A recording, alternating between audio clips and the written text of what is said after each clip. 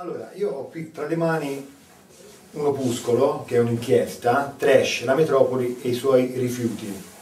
edito appunto eh, fra i quaderni di Contropiano per la rete dei comunisti. Come è strutturato questo lavoro? No, noi abbiamo strutturato questo lavoro mettendo assieme le riflessioni di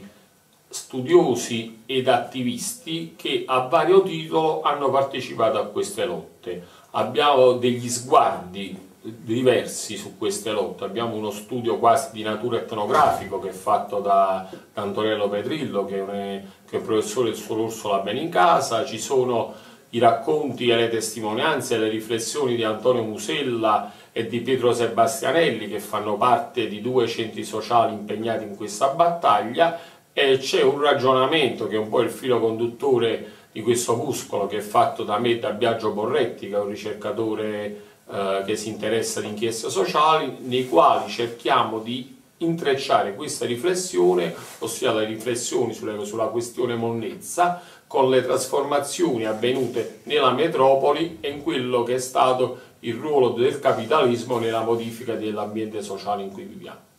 Perché una pubblicazione che tratta la vicenda dei rifiuti? Abbiamo pensato di realizzare un opuscolo, o meglio un quaderno di materiali con interventi di natura anche diversi tra loro, quasi un coro polifonico, attorno alla questione attinente a quello che noi abbiamo definito l'uso antisociale dell'emergenza rifiuti, perché riteniamo che al di là della cronaca di queste lotte, del racconto di queste lotte su cui esiste anche una pubblicistica articolata e a cui sicuramente richiamiamo, c'è bisogno di una riflessione, di un punto di vista critico e anche di un bilancio, per certi aspetti anche autocritico, di questa esperienza e delle consegne politiche che questa esperienza ha portato sia ai militanti, sia agli attivisti e soprattutto alle popolazioni investite in questi anni a questi percorsi di lotta e di mobilitazione.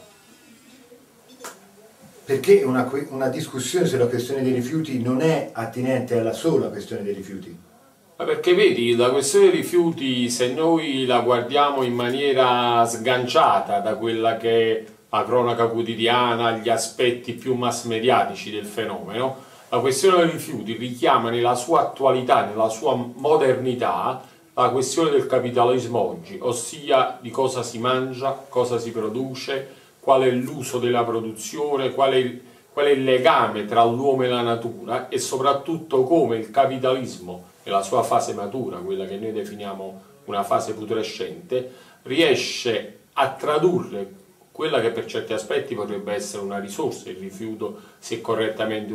utilizzato, trasforma questo concetto in un elemento di devastazione, di stupro del territorio, dell'ambiente e soprattutto della vita.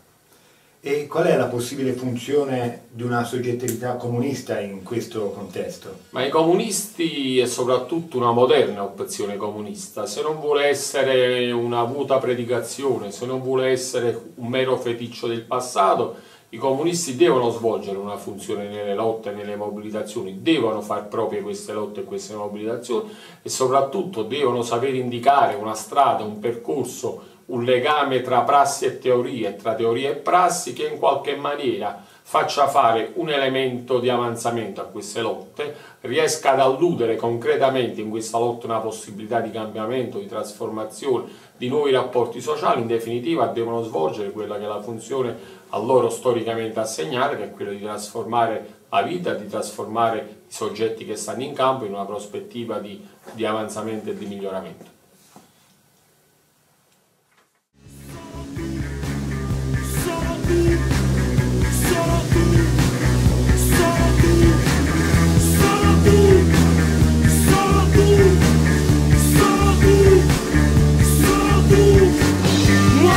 stop.